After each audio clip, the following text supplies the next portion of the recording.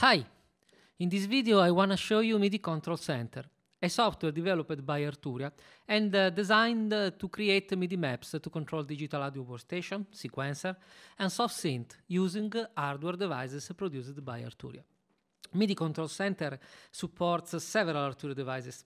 Once uh, you have launched the application, you can see the devices supported in the device column. In this case, I connected to my computer a Minilab Mark II Orange Edition.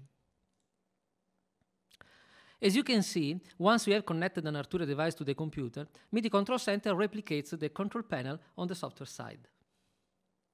Communication between hardware and software is bidirectional. You can select the controllers using mouse, or directly on the device control panel.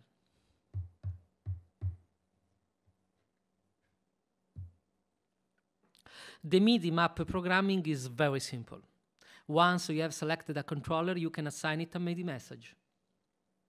If I select a pad, for example, I can assign it several MIDI messages type, as uh, note on, program change, and MIDI machine control.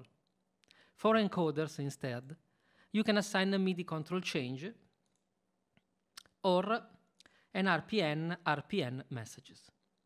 Once uh, you have completed to programming a MIDI map, you can save it uh, directly on the device.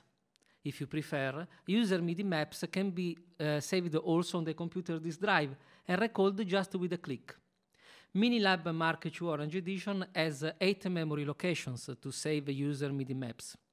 Actually 7, because the first is read-only and assigned to control Analog Lab Lite soft synth.